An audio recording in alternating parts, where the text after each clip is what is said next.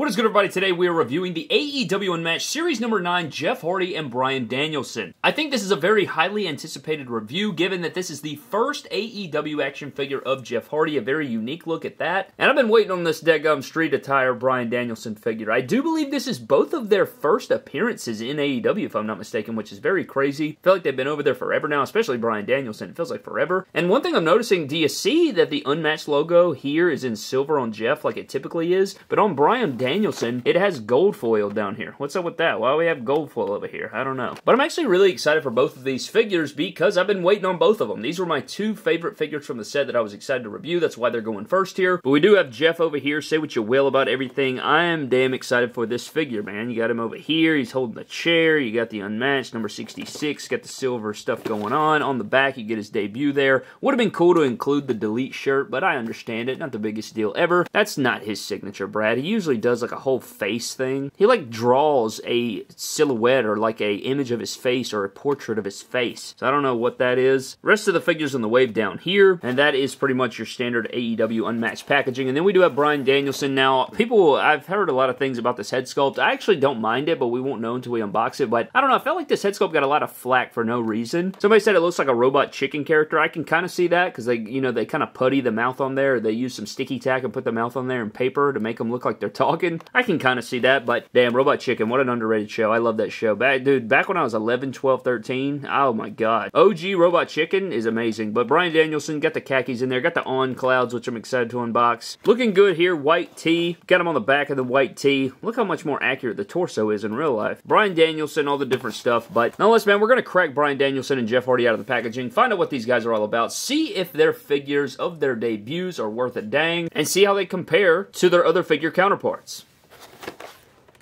So here's Jeff Hardy and Bryan Danielson out of their packaging. I'm actually impressed with some of the things going on with these figures, but I definitely have my gripes. One thing you're going to notice on the Bryan Danielson immediately is that he's on a ringside collectible stand, and that has never been done before in an entire, any review. Any review I've ever done, I don't think I've ever had to put a figure on a stand to get him to stand up. This guy's feet are so loose for me and he just will not stand up. He's too top heavy. I don't know what's going on. His legs are a little loose too. And the on clouds aren't, it's like he's walking on damn clouds, Brad. He can't stand up on anything. There's no material there to stand on. I don't know what's going on there, but we're to break into the figures, man. We're to get into the details, break down their accessories, get into the figures themselves. But if you guys want to grab these figures already, you can do so over at Ringside Collectibles. Use promo code MD Toys to save yourselves 10%. Huge shout out to Ringside Collectibles, the number one online retailer for all wrestling figure related things. Nonetheless, man, we're to dive into Brian Bryan Danielson's accessories and Bryan Danielson, and then we'll run it back and take a closer look at Jeff Hardy's accessories and Jeff Hardy. So getting into Bryan Danielson's accessories, we do get a plain white tee, a microphone, and some interchangeable hands. And say what you will, but I love the damn plain white tee. And I like the plain white tees too. Hey there, Delilah. But you do have the white tee here. It's kind of a thicker material, but it feels really good, and it fits the figure well no matter what torso you use, which we'll get into in just a moment, but it fits the figure really snug. I like this. I could see people using this on other characters for sure, and I like this. I like it. It's got the Velcro on it, and you don't have to worry about staining, so that's good stuff. And then we get an AEW microphone, which we've seen countless times before, but it is nice to see this because he did come out with it, and it's a nice little accessory you can just throw in there with almost everybody, and you guys know I have an ongoing joke about it, but I just read the back of the packaging. Bryan Danielson's debut, or this from this appearance is September 5th, 2021. That is absurd. And then Jeff Hardy's is April 12th, 2023. The big discrepancy there between these two figure releases, even though they're in the same set. That's kind of nuts. And then for interchangeable hands, you have this, I don't know, ki blast style hand, sort of, like Iron Man pulsing style hand. You can slap the knee, you can, I don't know, high five somebody, you can have your arms wide open. There's a lot of different things you can do with these hands. You also get a pair of fists to beat the hell out of somebody, which we've seen plenty of times. And then you get a right mic holding hand to hold the microphone, which is cool. Got to be able to hold the mic and hold weapons and all that good stuff. So getting into Bryan Danielson at the top of the head sculpt, I like this head sculpt. I know a lot of people were dragging it. I don't think you need to drag it. I think it looks good. Now, is it a little bit oversized? Yes, but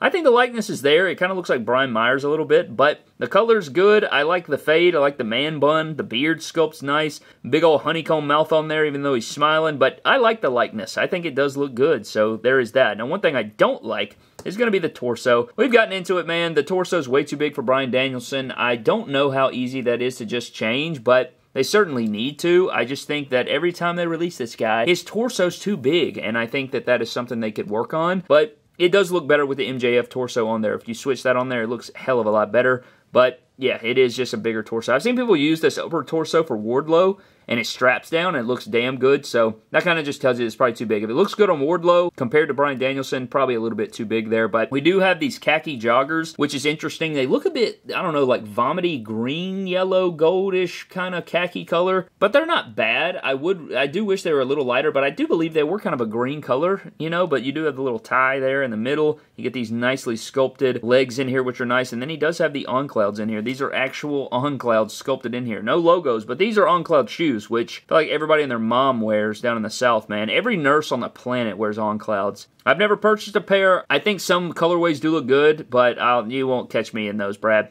Just won't happen. But I like the cuffs and the sculptures. But this figure can pose around pretty good, you know? It's got all the all the different articulation you want. He is a little bit loose up here, but I'm not going to use this torso anyway, but it is worth noting. He can do the splits. Legs are a little bit loose. I'll be real there. He's got the upper thigh cut, double jointed knee, shin cut, which is appreciated. Good ankle pivot there, and the feet go down and up. But the biggest gripe I have with this figure is he's difficult to stand, and I think it's because his torso's so top heavy. But you guys can see he's kind of like bobble-headedy and stuff, but I do like the aesthetic of the figure. I just think that it struggles in other areas. But I don't know. Let's put the white tee on here. Actually, let's not put the white tee on there. Or, you know what? Let's put the white tee on there, and then we'll do some switches and swappages. So for your Bryan Danielson figure comparisons, we do have the Unmatched Series 5 here on the left with the MJF torso fix-up. Here's the Unmatched Series 9 with their normal torso. All three of these have the normal torso versus the MJF torso, and this just scales it way better, man. It just looks so much better. I know the head sculpt's a little big, but this is just my biggest overall issue with all AEW figures nowadays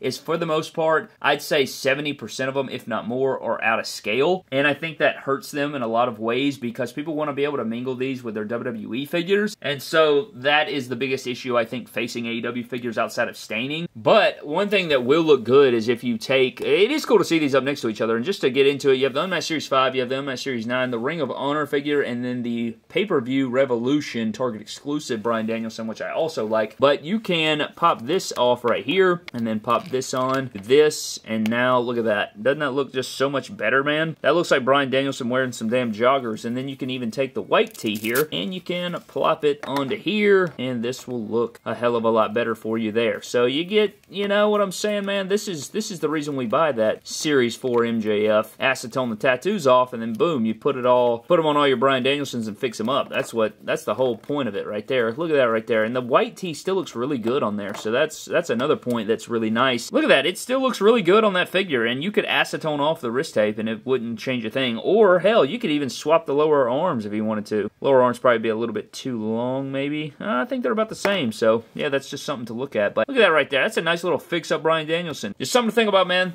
Got to change the torso. So getting into Jeff Hardy's accessories, we do get a decent amount here for a regular unmatched figure. And starting out first, we do have our steel chair with the Jeff Hardy artwork, which I really like. You can see his face there. This is something that Jeff Hardy does, and I talked about it on the packaging. He likes to draw his face or faces a lot, and they always look really awesome. And he's got his beard, his signature beard. They got the necklace in there. It's kind of just a picture of him here, essentially. But you can open it up here, and on the front, you get this other. You can see it's like three faces in one here in the middle. You have these little horns horns coming off on the sides, and then here is the body. But then if you flip it up like this, it's another, you will see that it's the cross, that Jeff Hardy or Hardy Boys cross behind here, and it's another three-headed or three-faced thing here that you can flip over there, which they did not have to add this to the chair. It's on the underside of the chair, so that's a really cool detail that they decided to add, which I think is awesome. And Jeff Hardy is a, a talented artist. I enjoy seeing him just work, because one thing about an artist is you're going to find their mediums, no matter what they they do, you can kind of like see a little bit of their style and everything, and I think he's very talented. I like, I appreciate his work a lot. So we do have the chair there, and you know you can sit in it, whatever. We've seen this mold before; it's nothing new, but we do have the Jeff Hardy chair, which I like. I think this is sick as hell. And now we're getting into the Jeff Hardy head sculpts, which I think this looks very good. This is something we never saw from Mattel. We never got a man bun head sculpt. I like this head sculpt. I like the the underneath here. His hair is kind of that grayish dark color under here, and then it goes into like a five o'clock shadow. It's got his gauges in there that actually have holes in them compared to Mattel. This looks good, man. I really like this. The likeness looks good, the facial expression, the eyebrows. Jeff Hardy has a very specific and signature look, and I think they captured it well, man. He looks really good. You even have the tattoos on the back of the neck or the ears there. Very good. And then you have the screaming expression. Now, mine did come with a little schmutz on his nose. I tried to wipe it off, but I haven't gotten it completely off right there Do need to get that off. It's not a big deal. Just got a little bit of extra paint on there, which you can chip off. It's not the biggest deal. But the likeness is good here. I think it looks good. The teeth look good. And it, everything else is pretty much the same except for the expression. So you know that the ponytail or the man bun looks about the same. And then on the other side, you can see he's yelling. And I like this. I like that we get both because, you know, he's usually yelling or he's just chilling there like this. You don't get a lot of different reactions out of Jeff Hardy. But the gauges look good. The likeness looks good. And that's all you can really ask for. Now outside of that, you do get the mic holding or the weapon wielding chair style hands. And they have all of his tattoos, which look very good. Always appreciate the tattoos, and I love that they have this tattoo over here because it does go onto his hand. That's the roots look really good here. Just fantastic. I love the tattoo deco on this Jeff Hardy, which you'll see when we get to the figure itself. And then his Jeff Hardy signature hands. I'll notice that all the signature hands always are very small. Like these are pretty damn baby hand-like. I don't know why the hands are always so small when it's the signature hands compared to the other hands. But it still has the tattoo deco, which I appreciate. And I don't like that it's bent a little bit. I would like it to be straight. You guys can see it's got a little, uh, I don't know. Yeah. So getting into Jeff Hardy, I like this head sculpt like we touched on before, man. I think one of the best things about this is the tattoos. I love that they've had every single tattoo. They got all the throat tattoos in here, the shoulder tattoos right there all of it looks damn good and as you spin it around you're going to see a ton of different tattoo deco and this looks so much better than Mattel's. I'm going to do a comparison shot, but look, they even have all the shading back there. And I know they've added that he added this when he left, but all of these sleeves and everything like that, man, he's had this a long time. I know that they've been covered up by sleeves from Mattel and stuff, but they just look so good. I like that it wraps up the entire arm, and you even have, you know, the the snake wrapped around his entire arm and going underneath here, which is accurate. I do believe the snake's head or whatever ends like right under his armpit, but you have it wrapping around his entire torso and rib cage around those roots, and the roots go around and go up his arm too. It's just such a sick tattoo, and it looks so good. And every time I look at this figure, I feel like I notice more tattoos, but even the forearm tattoo right here is accurate. I just love all the shading they added around here too. Like, look, you can even see his cross right there, which is accurate and all the shading. The devil, you know, the devil demon head looks really good. It's just sweet, man. It's so good. It looks amazing. I think they nailed it. Even this shading and stuff on this arm looks good and accurate. You get into the torso or the crotch here. It is the Jericho torso, which I have mixed feelings about, but it doesn't look too, too bad. You have the stud belt here. I don't like the crotch pieces on the, a lot of the AEW figures. I just feel like they're so small, but he does have his rubber bands on each arm too, which was accurate. And then he does have these brand new sculpted legs, which are very, very wide, and they have a lot of wrinkles in them, which I'll show you in just a moment. But they have a ton of wrinklage in there. See the pocket? I mean, the the pocket goes on the knee, which I think is a little weird, but got shin cut, and he even has his signature shoes on there. I want to say he was wearing some Adidas, but I'm not entirely sure on that night he returned, but the white sneakers looks decent. But as far as articulation, he can't really ab crunch too, too great. It, like, wants to pop off, but you might be able to get a little bit in there. It's just not the best. It, like, wants to pop off every time, which is the main reason I have an issue with his torso. I think they could have used a different torso for Jeff Hardy. I just think it's a little bit oversized. But he has all the different stuff here. I like the double jointed arms. I don't know, man. I just think they because they use this torso, it makes his arms look pretty big. But when you put a shirt on here and everything, I just love the tattoos. The tattoos are my favorite part of it easily. But he can do the splits. He can kick forward really good. Not back that great, but you do get that double jointed knee. Just look how ugly that knee bend is. I know the, the, the thick pants or whatever are accurate, but look at that. It hinders the knee joint bend because of the thickness of the plastic. Even if it is more accurate, sometimes you got to sacrifice accuracy for different things, but it's not the biggest deal. He does have thigh cut and shin cut here, which can get a little ugly, but I prefer shin cut over no shin cut. But his feet also have ankle rocker, and his feet actually move down and up, which is something you don't see on Mattel's that have long pants. You'll never see that. That does not happen with a Mattel figure, so that's also a bonus. But one thing that's awesome about this is I do want to take a look at some Mattel figure comparisons when looking at a shirtless Jeff Hardy figure. So for your Jeff Hardy figure comparisons, here's a bunch of different ones. We have the entrance crates with a custom head sculpt. We have the Elite 84 with a Survivor Series head sculpt. We have the ringside exclusive 2-pack Jeff Hardy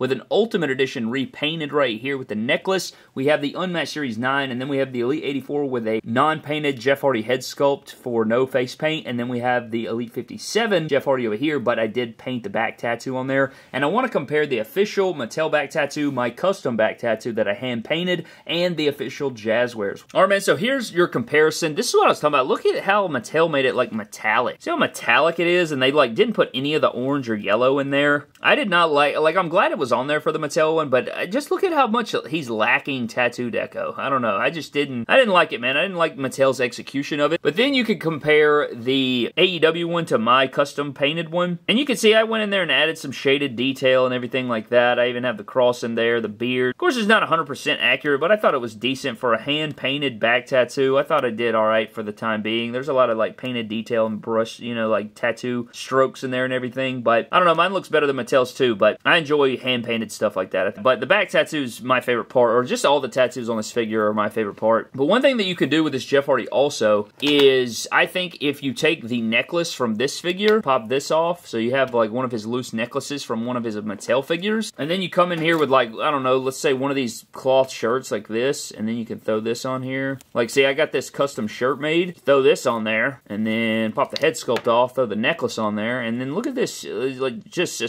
simple Jeff Hardy promo attire. And look at that right there, man. That looks awesome. I mean, he's still way too damn tall, in my opinion, but I guess it's better for sure. I don't know, it just looks like a really cool figure. This looks great on display, I think. And then if you don't like that shirt, you can remove that shirt, and you could put maybe the Jeff Hardy jersey that came with the two-pack that came with the SmackDown Elite 2-pack Triple H and Jeff Hardy figure. Throw this on there, and look at that. Now you got a whole different Jeff Hardy. So if you don't want him to be shirtless or show off those abs from the Chris Jericho, look at this, man. You could easily just pop this on here. And there you go. Then you got a whole nother Jeff Hardy look right there. So it's kind of a mixture of old and new Jeff Hardy. That looks amazing. I like that. This jersey is actually one of my favorite WWE shop or items that they've ever made, actually. But that's cool. I like that, man. Yeah, dude, look at the look at the differences. I, I just, I think the scaling issue is my biggest problem with Mattel and AEW figures. Oh, man. They got to fix that. Or, I, I don't know, don't fix it. I just think that it would be a lot better for everybody if they did. But I think that about wraps up our 2-in-1 AEW Match Series number 9 Jeff Hardy and Bryan Danielson figure reviews. Now, if you look at the figures here spinning around, I did add the cloth accessories and the necklace, right? And I think that really fixes up the Jeff Hardy. I actually like it a lot more with the shirt on there because it kind of covers up how ripped he is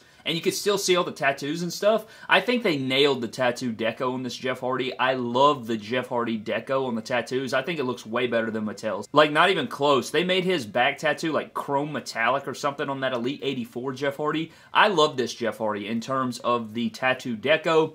I, I, am a little bit weirded out by the pants and how tall he is, but at the end of the day, I still really like it. Like, the pants are very thick, which I was afraid of. I know the Briscoes are coming up. I think their legs are a bit thick as well, but I know people are going to be happy that he has baggier pants compared to the Mattel figures, but I think that these are a little bit too too wide in my opinion. I think it's going to hinder some articulation stuff, but you can take a look at the photo gallery. I had a ton of fun shooting this guy. I love Jeff Hardy, though. He's one of my favorites of all time. He'll always be. And so this is a very fun figure for me to shoot around. He's just so awesome, very nostalgic, just one of those guys I've always loved and drawn to. Much like everybody, I feel like there's so many people out there that have Jeff Hardy as their number one ever. A bunch of casual people as well, you know. Jeff Hardy is uber popular. When you think about some of the most famous wrestlers, Jeff Hardy's name is up there, man. I'm telling you, especially in just America itself. But I really dig the Jeff Hardy. This is badass. This is going to be a Jeff Hardy that I buy every time I see it because I can fix it up so many ways. And I like so many things about it. Is it perfect? Perfect? No, I still think that he's a, the scaling's still off on these AEW figures. Feet are a little big. The legs are a little bit too wide. I don't like the Chris Jericho torso per se. I think they could have used a different torso. But all those things being said, you can really add to this guy. I love all the. Add these bells and whistles, and look at this guy. I love the way he looks right here, man. It's a perfect promo Jeff Hardy. The tattoos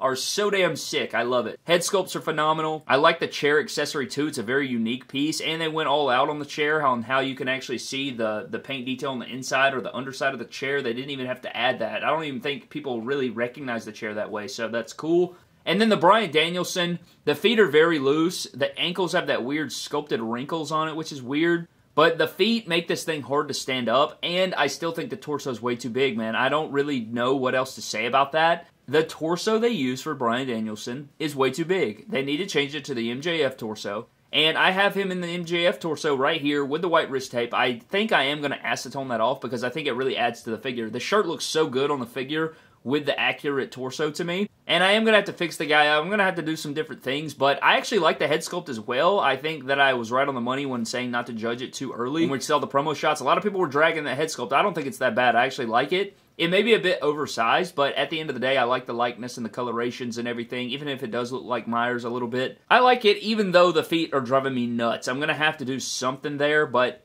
If you guys want to grab these figures, you can do so over Ringside Collectibles, but I had a ton of fun shooting these guys in the arena. They look awesome. Flaws aside, they are definitely worth the pickup in my opinion, and I think they're cool to have next to, you know, I love a good street attire. I love a good promo attire, and both of these guys are in promo attires or street gears. Even though you could kind of make this a Jeff Hardy, you could make this into a Jeff Hardy wrestling gear. I love me some damn promo gear, street attire, promo cutting gear, so that's good there. But that is pretty much going to wrap the video up, man. I'd love to know what you guys think of these figures down in the comment section below. At the end of the day, I would recommend both, but just know that you may have to do a little bit of fixing up. But anyways, man, that is pretty much going to wrap the video. Thank you guys so very much for watching. I hope you guys did enjoy. I'd love to know your thoughts on all these things down in the comment section below, man. Huge shout out to our Patreon members of the MDT YouTube channel, man. I appreciate all those fellas over there. You guys are absolutely incredible. Thank you guys so very much for your continued support. But I'm getting out of here, man. Thank you for watching. Subscribe to the channel. I'll catch you guys later. Have a blessed one, and I'll see you next time.